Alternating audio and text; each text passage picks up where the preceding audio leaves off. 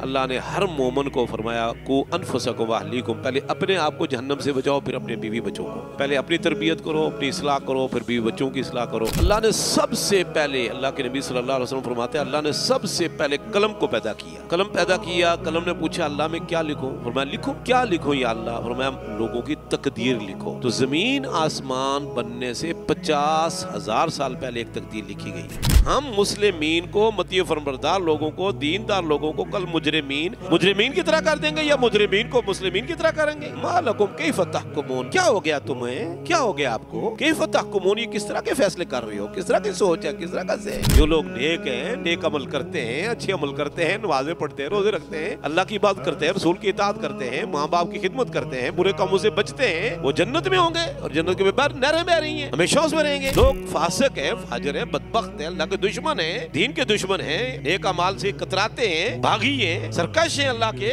दीन के फिन्नार, वो जहन्नम में होंगे। सैयदना अबू रहरा रज़ी फरमाते हैं, अल्लाह के नबी सल्लल्लाहु अलैहि वसल्लम ने फरमाया, ये दुनिया मोमन के लिए कैद खाना है, जेल है जन्नतुल काफिर काफिर की जन्नत है।